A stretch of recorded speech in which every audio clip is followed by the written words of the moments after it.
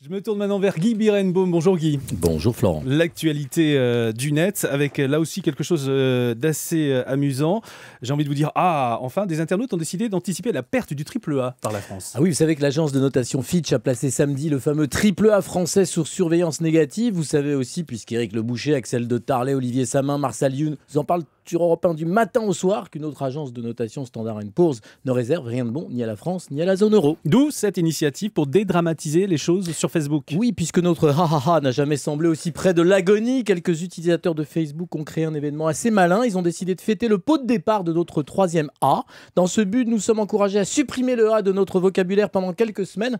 L'une des créatrices du groupe, Mélanie Pennec, explique plutôt que de nous lamenter de la perte probable du triple A français, nous avons préféré en rire. Aussi avons-nous lancé un event Facebook, le pot de départ du troisième A, ou comment écrire la France sans A. S'ensuit un jeu très drôle à qui détournera le mieux un logo, une affiche, une marque?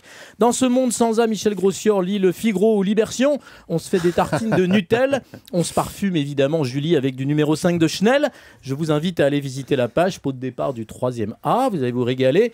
Et ceci étant, au-delà de cet humour potage, potage sans A, ça fait poche, il s'agit d'une initiative culturelle qui est un hommage du web à l'ouvroir de littérature potentielle, l'Oulipo, groupe d'écrivains et de matheux qui s'était rassemblé autour de Raymond Queneau. Il faut se souvenir que l'une des œuvres majeures de cette école intellectuelle reste le roman en lipogramme La disparition, écrit par Pérec en 69, roman qui ne comportait aucun E. Demain, Messieurs, mesdames, vous ferez la matinale comme ça. D'accord. Ça va pas être simple. Hein. Guy Birenbaum, merci. Très, je suis allé voir le site, c'est vrai que c'est très amusant très avec tous les logos euh, détournés.